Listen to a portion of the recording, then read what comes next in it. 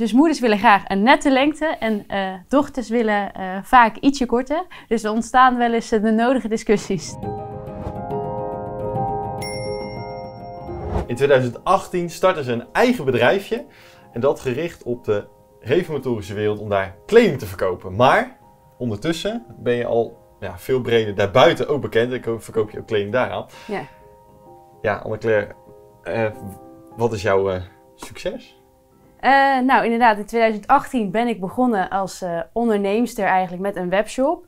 In eerste instantie inderdaad gericht op uh, ja, de achterban waar ik vandaan kom, dus op de christelijke wereld. Inmiddels inderdaad verkoop ik denk ik aan heel Nederland de leukste jurkjes en rokjes met succes. en hebben we ook een leuke winkel erbij gekregen, daar staan we nu in. Sinds vorig jaar is de winkel uitgebreid, wat eerst een klein winkeltje eigenlijk. En nu sinds uh, een jaar dus uh, een grotere winkel. Ja, want uh, jouw winkeltje heet Bij Keesje. Ja, of, klopt. Waar komt die naam vandaan? ja, dat, die vraag krijgen we dus echt heel vaak. Die naam komt eigenlijk, ja, het is een beetje een familienaam. Mijn vader heet Kees, mijn doopnaam is Cornelia. We zijn eigenlijk een beetje daarop gaan verzinnen. En daar is de naam Keesje uit ontstaan. En toen is het Bij Keesje geworden. De naam Keesje was al bezet bij Keesje. Dus iedereen kan gezellig shoppen. Bij bij, Keesje. Bij bij Keesje, ja. leuk joh. Want um, waar komt jouw passie voor kleding vandaan? Nou, ik was eigenlijk echt als jong meisje al heel druk bezig met mode en leuk eruit zien. Beetje standaard zoals... Uh, ja, eigenlijk standaard. Maar ik zat toevallig gisteren nog na te denken...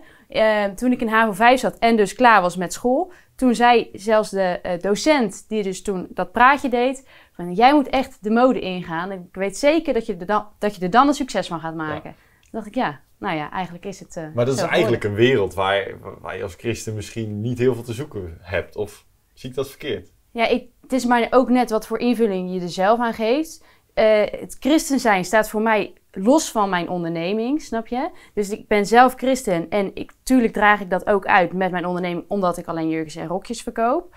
Maar ik denk uh, ja, het is voor mij puur wat voor insteek ik er zelf aan geef. Snap je? Het is niet dat ik op zondag dingen hoef te doen. Voor mij blijft de zondag een rustdag. Post ik ook niks. Dus uh, ja, ik vind dat het door de week als christen goed kan. Laat ik het zo zeggen. Ja. Ik ben wel uh, benieuwd. Ik wil een rondje doen door de winkel. Even kijken. Zullen we gewoon hier beginnen? Ja. Aan deze kant. Het is nu nog echt hoogzomer. We gaan volgende week beginnen met de sale. Dus dan zal er ook steeds meer donkere kleurtjes komen. Deze kleuren gaan we veel, veel zien dit najaar. Veel donkerblauw, zwart, een beetje die bruintinten. Dus dat is wel leuk om alvast een beetje te zien. Um, dat is wel heel grappig om te zien. Je gaat gelijk in de verkoperrol. Kijk, ik ben zelf ook echt fan van alle items. Dus als een ander dan een soort staat van... oh, dit vind ik eigenlijk niet zo. Dan denk ik, nou, hoe kan dat nou, weet je wel? dus ik vind echt... alle items vind ik echt heel erg leuk. En soms zijn vriendinnen hier dan in de winkel. En dan denk ik, ben ik gelijk geneigd... moet je dit eens passen? Dit is echt leuk voor jou, weet je wel? Dat is heel grappig. Ja, want je bent best actief op sociale media, toch? Ja, ja, heel actief. Er gaat toch wel heel veel tijd in zitten, laat ik het zo zeggen. Hoeveel, hoeveel berichten krijg je per dag? Durf je dat te zeggen? Ja, dit verschilt dus per dag. Want gisteren hadden we een nieuwe collectie online gezet. En toen, ja, dan krijgen we denk ik ja, 100 tot 200 berichtjes per dag. Maar op een dag als dat niet zo is, dan zit het vaak rond de 50. Ik ken wel eens het commentaar dat ik uh, de verkeerde kleuren bij elkaar pak. Dus oh, ja? wellicht heb je een tip voor me. Ja, ik moet eerlijk zeggen, ik doe het zelf allemaal op gevoel. Dus daar heb jij niet zoveel ah, nee, aan. Nee, niet zoveel aan.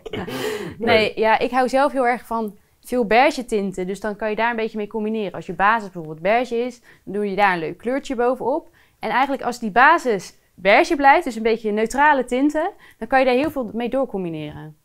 Hm. Ja. Oké. en je hebt geloof ik een nieuwtje. Klopt, jij hebt de primeur. We gaan verhuizen met Bijkeesje. Echt? Dus ja, dus de webshop en de winkel komen in één pand te zitten. Dus daar heb ik echt onwijs veel zin in. En we krijgen een echt kantoor. Nu zitten we eigenlijk vaak nog in de winkel door de week te werken. En dan kunnen de meiden gewoon lekker op kantoor zitten. Gewoon een bakje koffie pakken wanneer ze willen. Dus uh, ja, dat wordt echt uh, een luxe voor ons. En wordt je winkel dan ook groter? Ja, de winkel is nu denk ik 70 vierkante meter en die wordt 150. Dus die wordt ja, twee keer sowieso zo groot. Dus, dus dat nog meer... Uh... Nog meer kleding, ja. Nee, maar dan zal het ook wel wat verspreiden natuurlijk gaan hangen. Want net als dit hoge rek hangt redelijk vol. Dus dan heb ik dat wel de ruimte om dat eventjes wat beter te gaan verspreiden. Ja. En waar, waar gaat dat pand uh, zitten? In de buurt. Dus loop even mee, dan gaan we kijken. Want had jij nou gelijk een winkeltje, Anne-Claire? Nee, we zijn, eerst hebben we een jaar alleen een webshop gehad. En eh, toen zijn we na dat jaar zijn we eigenlijk begonnen met kijken naar een winkeltje. En toen wist ik dat de winkel die hier zat wegging. Maar ik dacht dat deze, ja, deze hele eh, plaats gesloopt zou gaan worden. Ja. Ehm, toen bleek dat nog twee jaar te duren. Dus toen dacht ik, nou, die tijd die durf ik hier wel te zitten. Ja, want dat is, eh, want je bent alleen in dat stukje begonnen en toen daarna heb je, ben je zo snel gegroeid dat je uit moest bouwen. Ja, eigenlijk wel. Ja, het werd echt te klein. En ik weet nog in het begin, eh, nou, tenminste na een half jaar de winkel te hebben, op vrijdagavond stond er een rij. Sommige mensen die stonden echt twee uur in de rij. Waar. Dus die konden uiteindelijk pas om ja, 9 uur, kwart over negen naar binnen. En die mensen wil je natuurlijk ook helpen. Dus voordat je dan zelf thuis bent, is het vaak 11 uur. En dat is wel een hele lange koopavond dan. Dan hebben we echt gekomen. Ja. Even kijken hoor. Nou, volgens mij zijn we er al. Let vooral niet op de rommel hier. Maar dat is het pand waar we gaan zitten. Dus naast het administratiekantoor. Dat wordt ons nieuwe eh, pand. Dus dat is helemaal leuk. Heel gaaf. Ja. Je zei er straks veel, eh, jij verkoopt alleen maar jurken en, en rokjes. Is dat een bewuste keuze? Ja, eh, het is inderdaad in eerste instantie heel bewust gegaan. Eh, ik heb op de Guido gezeten. Dat is een school waar je alleen jurkjes en rokjes aan mag. Ehm, eigenlijk vond ik het toen heel lastig waar ik leuke jurkjes en rokjes vandaan eh, moest halen. Ja, bij de Zara, maar daar liep dan de hele school in.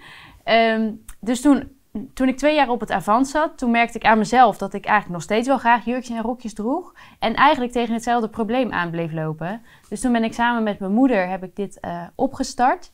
Eh, de leukste jurkjes en rokjes vind je bij, bij Keesje. Dat hebben we eigenlijk zo eh, gelaten. Het valt heel goed, dus... Ja, want is dat dan ook iets waarvan je zegt, nou daar sta ik echt van harte achter dat het gewoon iets is wat binnen de reformatorische gezin gewoon gedragen wordt? Of zeggen we nou, maakt me niet zoveel uit, maar ik vind het gewoon leuker.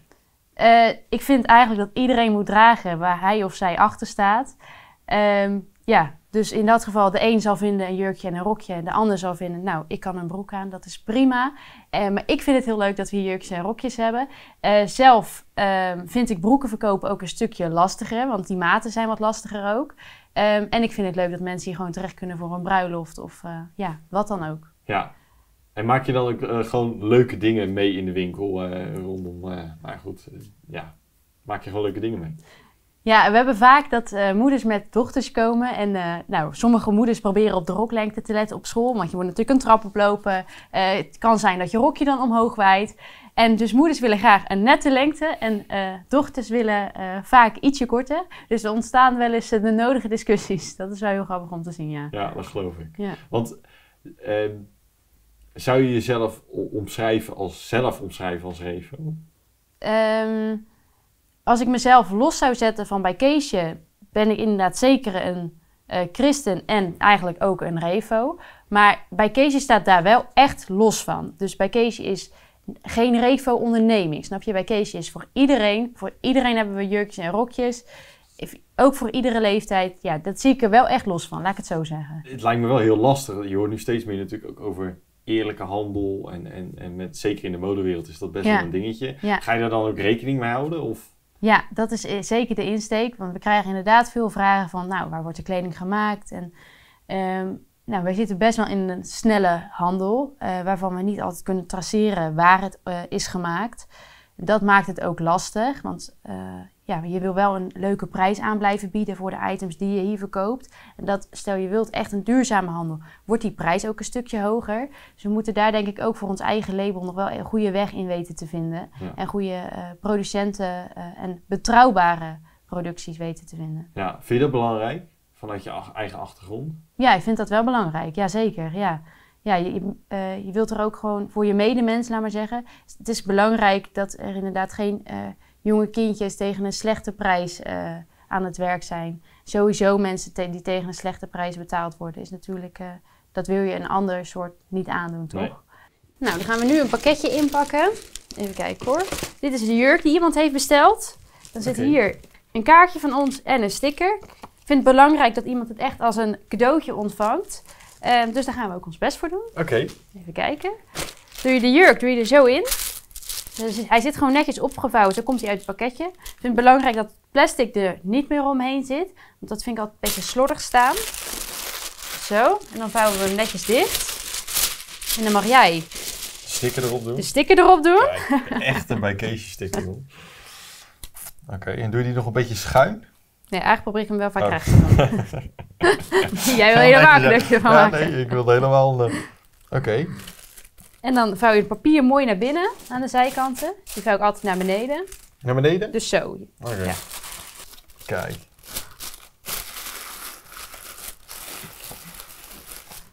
Nou jongens. Doe je een kaartje erbij. Zo. En dan mag je hem dichtvouwen.